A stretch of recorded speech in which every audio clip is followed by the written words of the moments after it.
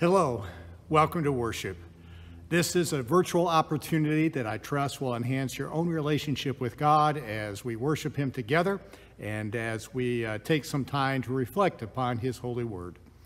I do want to take a few moments to uh, let you know that uh, we continue to move through the season that is typically called Lent, uh, leading into the final week uh, of the season that uh, leads us into Easter Sunday and the resurrection celebration. Uh, the week leading into Easter is often referred to as Holy Week. And on your screen, I've listed some of the special worship opportunities that will be available during that week. First of all, Sunday, April 10th, Palm Sunday at 10 o'clock, our usual in person worship time. The choir will be performing the cantata Victor's Crown.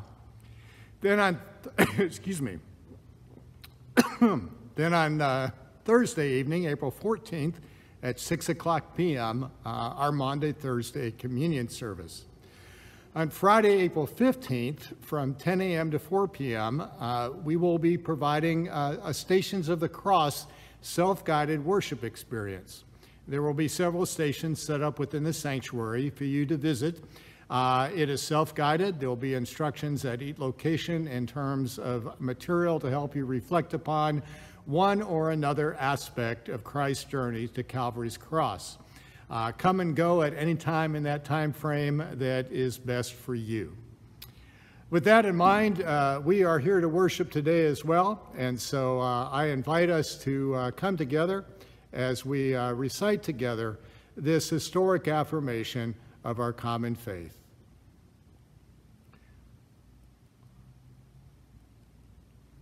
I believe in God the Father Almighty, maker of heaven and earth, and in Jesus Christ, his only Son, our Lord, who was conceived by the Holy Spirit, born of the Virgin Mary, suffered under Pontius Pilate, was crucified, dead, and buried. The third day he rose from the dead. He ascended into heaven and sitteth at the right hand of God the Father Almighty. From thence he shall come to judge the quick and the dead. I believe in the Holy Spirit, the Holy Catholic Church, the communion of saints, the forgiveness of sins, the resurrection of the body, and the life everlasting. Amen.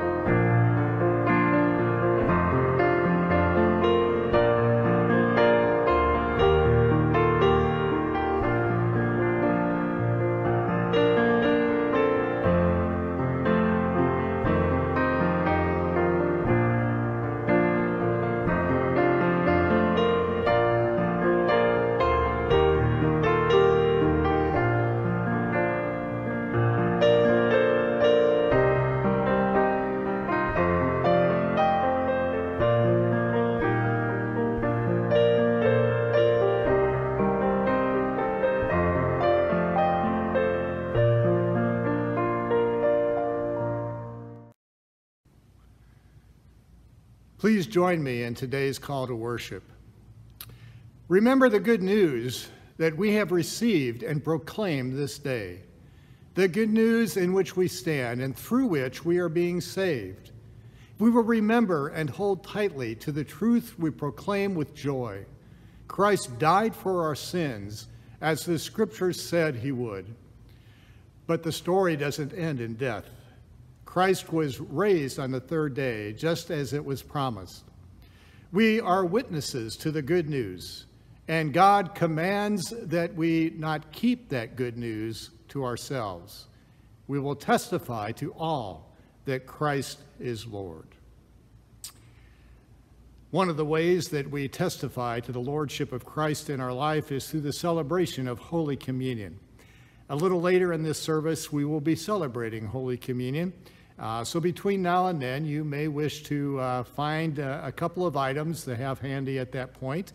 Uh, something that you can drink to remind you of the shed blood of our Lord Jesus Christ. Uh, typically, we use grape juice, but it does not necessarily need to be grape juice. Uh, and then something by way of a bread item to consume as we celebrate the body of Christ given for you and given for me. We will uh, be celebrating that following uh, the message today as we remember and proclaim our Lord's death until he comes. Please join me for a few moments as we become before what uh, the Bible tells us is God's throne of grace, a metaphor for what it means to come to Him in prayer and to be able to come to Him freely and unhindered without fear of any kind of retribution, without fear of being turned away, without fear of judgment. All that was handled by the sacrifice of our Lord Jesus Christ. And so, with the freedom that we have in Jesus, I invite us to pray together these words O God of all creation, you came into the world that we might know love and new life. Pour your Spirit on your church that it may fulfill Christ's command to live the gospel everywhere and that the proclamation of the good news might be heard throughout the earth. Reassure us that we are your beloved people. Defend us against all evil and temptation. Give us grace to bear faithful witness to you. And do us with love, keep us constant in prayer, empower us for the service of love. Amen. I also realize that uh, each of us have very personal requests and needs and praise items for the Lord. So at this point in time, I would like to pause for a moment to allow each of us to offer those to the Lord. Following that period of time, uh, we'll conclude our prayer by uh, sharing together in the prayer that Jesus taught. Take a few moments now to simply offer praise and petition to the Lord in whatever concerns you might have.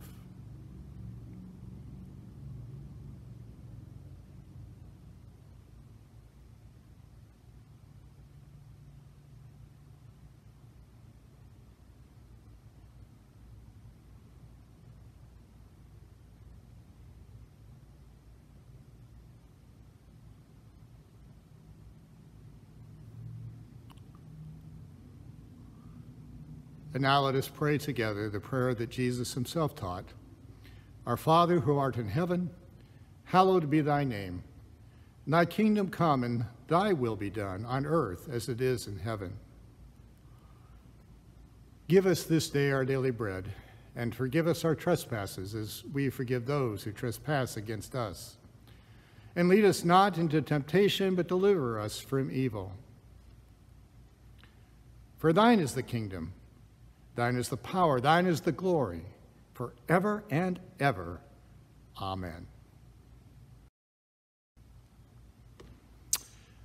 One thing I would like you to be aware of is that uh, as we now uh, commemorate and honor the tradition of supporting the work that God has entrusted to us through our tithes and offerings, uh, that uh, during the last couple of weeks we have uh, opened up the opportunity for a special offering uh, that is specifically going to be designated for some of the United Methodist relief efforts from the victims of the war in the Ukraine. Uh, should you wish to uh, contribute directly to that, you can contact the church office where we have information of how you can do that and where to send your gift. Alternatively, if you were to mark on your check uh, or in the electronic giving box that you would like your gift to go directly to that support, you are welcome to do so. Just a reminder that uh, there are several ways in which to uh, uh, offer your tithes and offerings to the Lord. One is to mail them to the church via the regular mail or bring them here to the office or leave in the lockbox that is outside the office door. Of course, we have an online giving option that you can find at marinerumc.org. Uh, simply use the link that is praying that is uh, displayed when you go to the website. Let us pray and just thank God for his blessings and the opportunity to share those blessings with him. Father, you have showered us with many blessings, both material and spiritual. But Father, as we offer to you a, a material offering of tithes and offerings, uh, Uh, they are in gratefulness for the infinite spiritual blessings that you have showered upon us. And Lord, while we have different capacities to be able to give to you, each of us can give with a common heart of joy and praise for what you've done for us in Jesus. To that end, we surrender these tithes and offerings in his most precious name. Amen.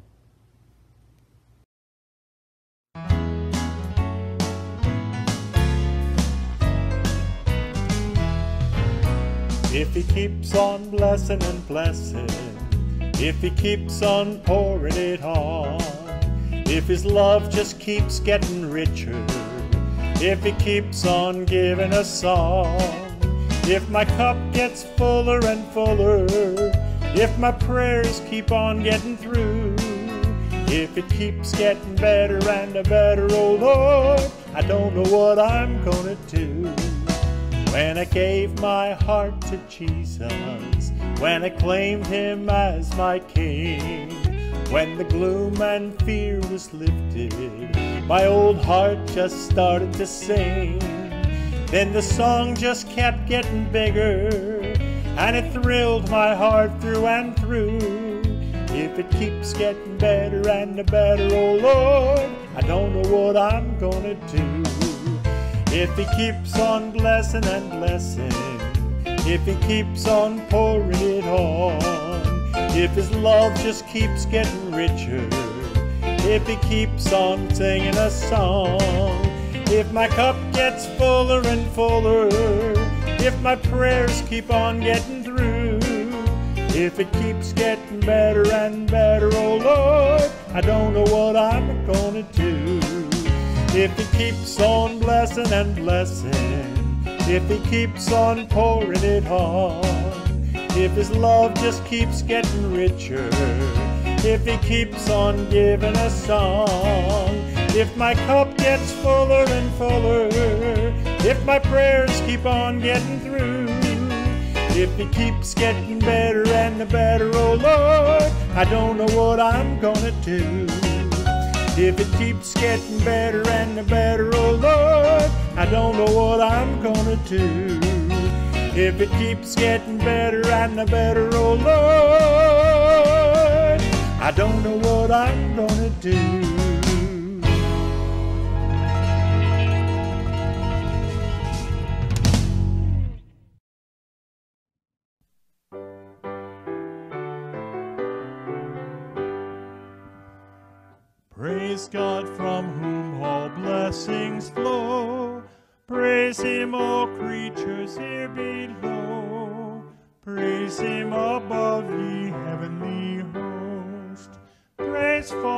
Son, and Holy Ghost. Amen.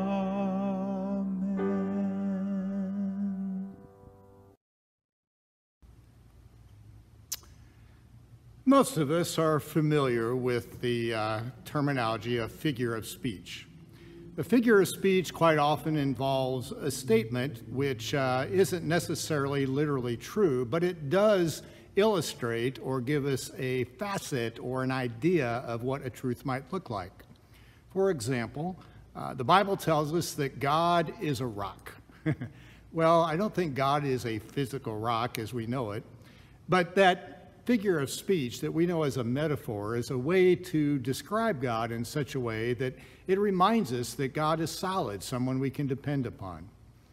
God is also illustrated in the Bible as a flaming fire, Well, I doubt that he's both a rock and a flaming fire, and really neither one.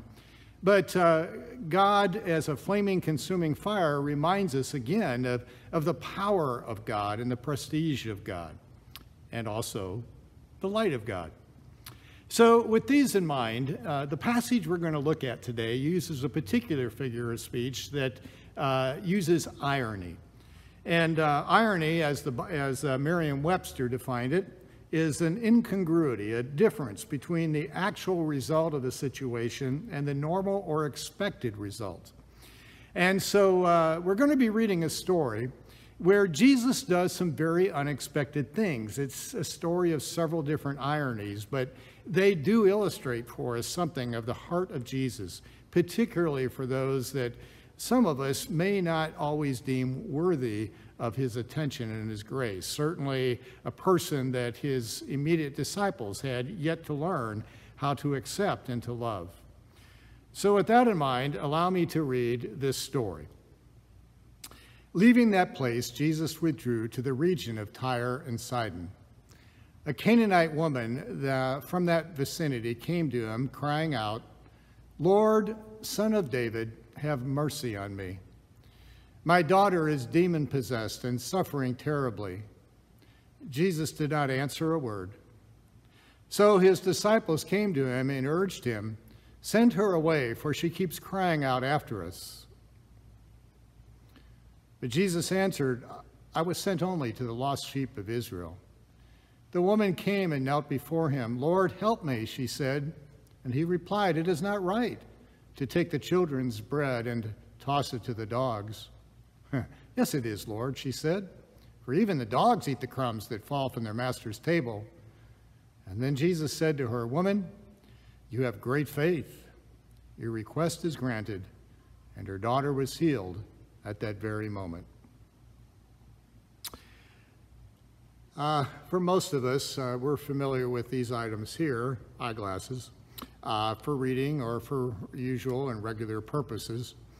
What's interesting about eyeglasses, if you have your eyes examined, typically the prescription for one eye is not necessarily identical to the other. And so when the eyeglasses are made, they have to adjust the uh, prescription for each lens to make sure that allows each eye to see appropriately. There are at least two lenses through which we can read the story that I've just read to you. One is the story of someone on the outside looking to be brought to the inside.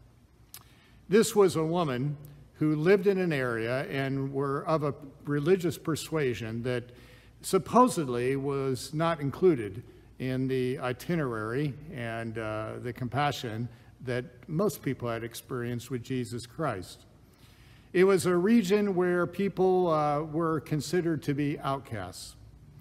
And so, one lens in which we can look at this story is the lens of someone looking at a woman on the outside, undeserving of the attention of Jesus Christ because she's on the outside, and someone that, at least initially, the disciples of Jesus Christ should stay there on the outside of things. The other lens that we can use to look at the story is the lens of a mom with a desperately ill daughter. Ah, it's a very different lens, is it not? Instead of a generic judgmental statement uh, anonymously assigning to this woman, well, she's just an outsider seeking to be in, we look at the story of a mother who has a daughter who's ill. And somewhere along the line, we don't know how or where, she had the idea through uh, either the teaching or hearsay or uh, word of mouth, whatever it might be, that Jesus might just be able to do something about that. And so she comes to Jesus with her plea. So, allow me in this story to walk through several of the ironic things that are mentioned in this story that I believe help us better understand it, particularly from the standpoint of a mom with a sick child. The first diner, I would say, Jesus is dining with the very people he did not come for. You know, as we read that story, Jesus said, I only came for the lost sheep of Israel. Well, if that were literally the case, there are two problems. First of all, Jesus intentionally is in a geographical area where the lost sheep of Israel do not reside. So if he did not come for them, why is he even there to begin with? Okay? So that's one irony that we look at. Why is Jesus even there? Well, as I mentioned, an irony is a statement that is contrary to the expected result.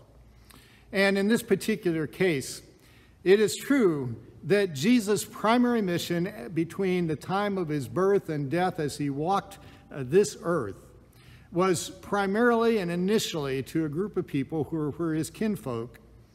It was not entirely limited to them. And when Jesus says here that uh, he was only sent to the lost sheep of Israel, he's basically repeating kind of the common understanding of what people believe to be about him. Irony number two the disciples try to send her away, thinking it's the right thing to do. You know, one of the things I notice about reading about the disciples is uh, they're growing just like you and I are growing. And for whatever reason, they really didn't think that Jesus should be spending her, his time with this particular mom. And so, uh, as, uh, uh um, as the disciples were observing and uh, kind of annoyed by her persistence, they told Jesus, Can you just let, just send her away, okay? She's just bothering us and she's bothering you. They tried to do this with children. They tried to do this with the feeding of the 5,000. There were several points. And the irony is, these are the very people that eventually Jesus is going to entrust with the responsibility to actually bring people to himself. But they're not there yet, they're a work in progress. And so, one of the ironies we see here is that the disciples are doing that very thing that Jesus is going to have to help them understand. They need to break that habit at some point and understand that Jesus, our Lord Jesus Christ, really did come for all people. And that a primary role that they're going to have once his departure from this planet is to invite people into a relationship with Jesus Christ. A third irony that we see in this particular passage is that Jesus behaves very unJesus like. For one thing, when the woman first approaches him, he's totally silent. I can identify with that. There are times when I've gone to Jesus with concerns and it just seems like he's not listening. It doesn't mean he isn't, but it just feels that way to me.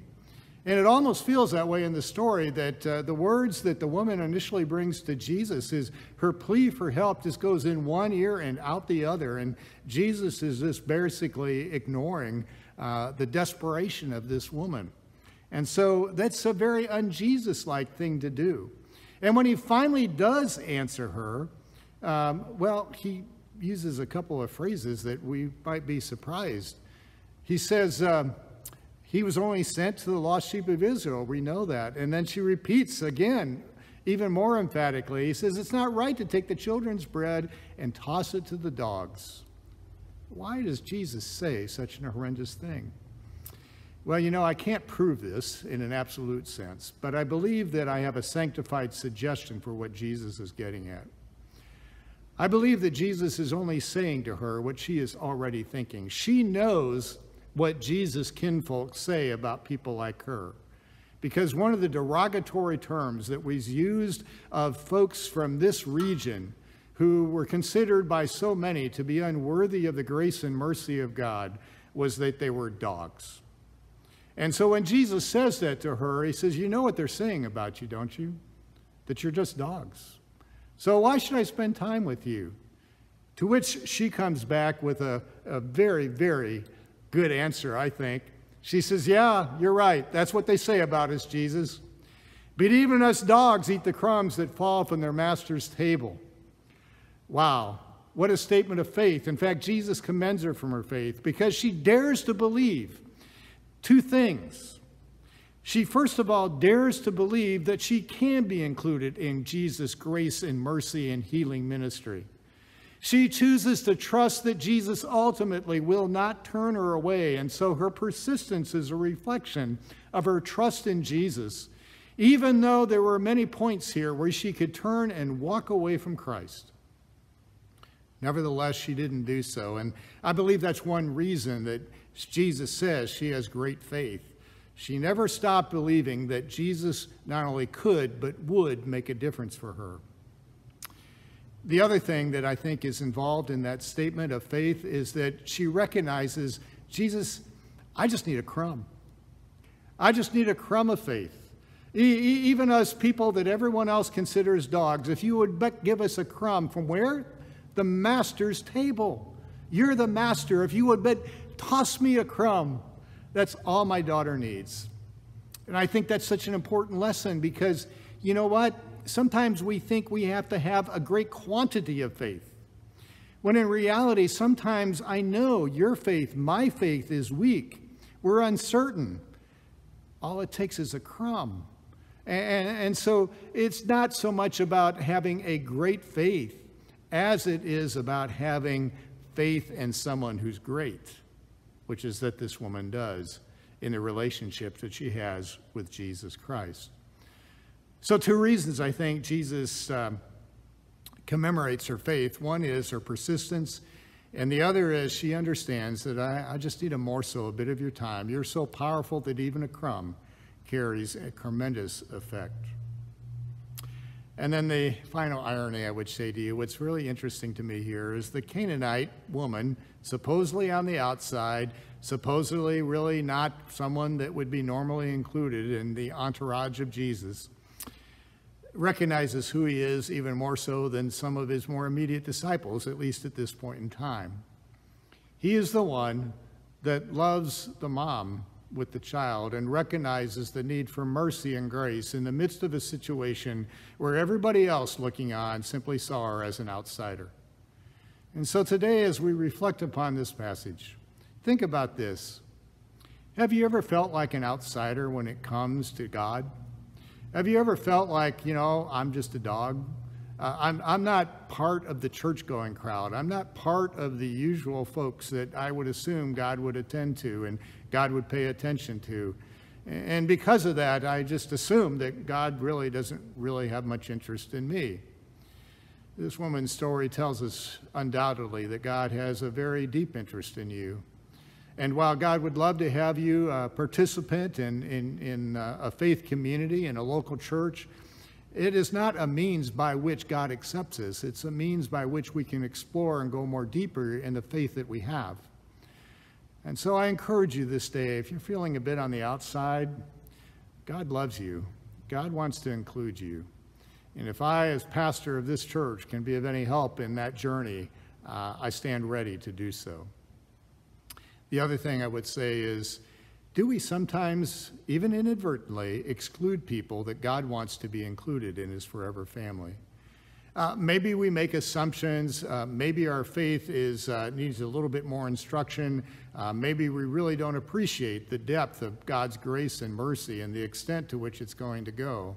And, so for, you, we may inadvertently uh, send a signal to some people like the disciples did here. Well, not so inadvertently, but nevertheless say, you know, just send her away.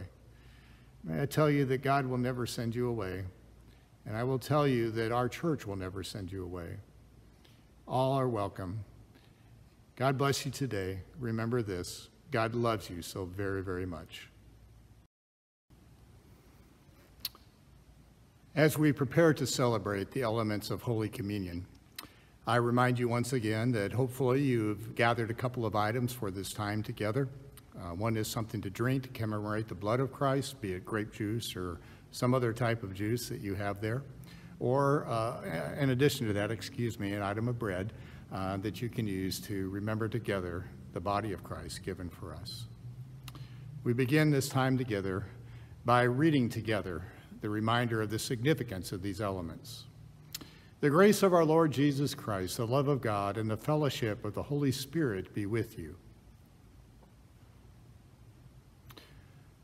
Continuing on together, all glory and thanksgiving to you, Holy Father. For on the night before he died, your Son, Jesus Christ, took bread, and when he had given you thanks, he broke it and gave it to his disciples and said, Take, eat, this is my body, which is given for you. Do this to remember me. After supper, he took the cup. And when he had given thanks, he gave it to them and said, Drink this, all of you. For this is my blood of the new covenant, which is shed for you and for many for the forgiveness of sins. Do this as often as you drink of it to remember me. Therefore, loving God, recalling your goodness to us in Christ, his suffering and death, his resurrection and ascension, and looking for his coming in glory, we celebrate our redemption with this bread of life and this cup of salvation.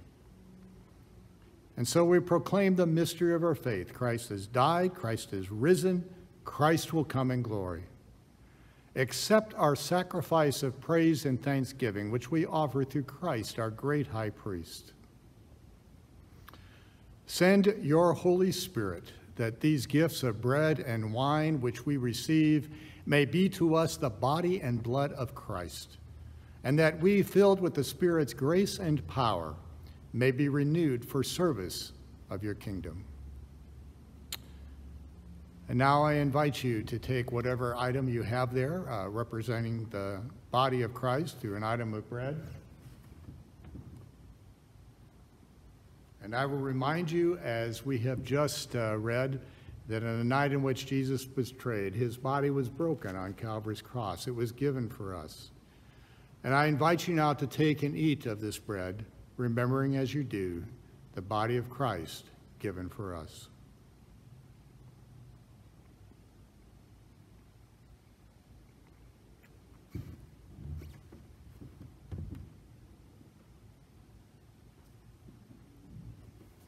In much the same way, after the disciples had eaten of the bread, Jesus passed the cup.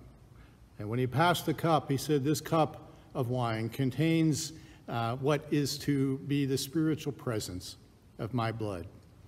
Take and drink of this as you um, um, take and eat, drink of this as often as you do now in remembrance of me. Let us drink together.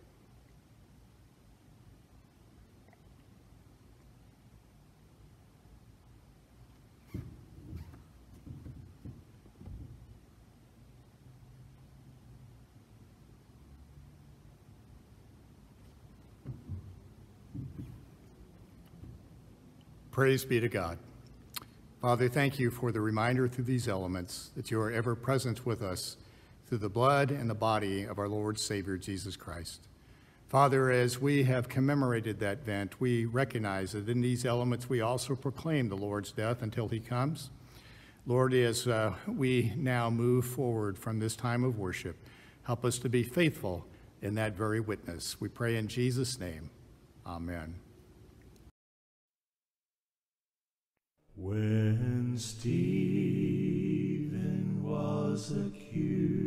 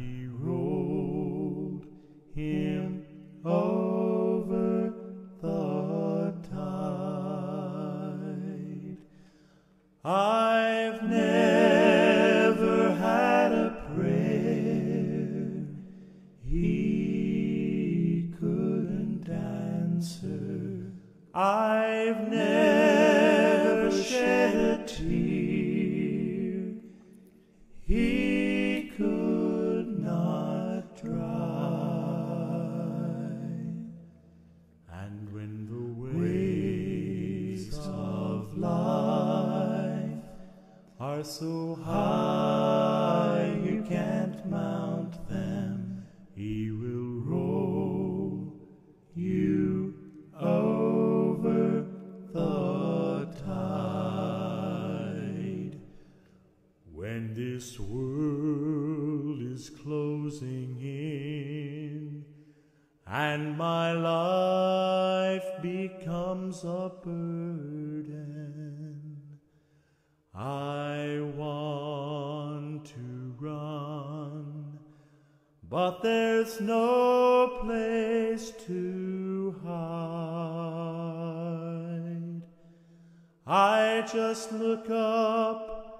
like O Stephen to the right hand of the Father, and he rolls me over the tide. You'll never have a prayer he cannot answer.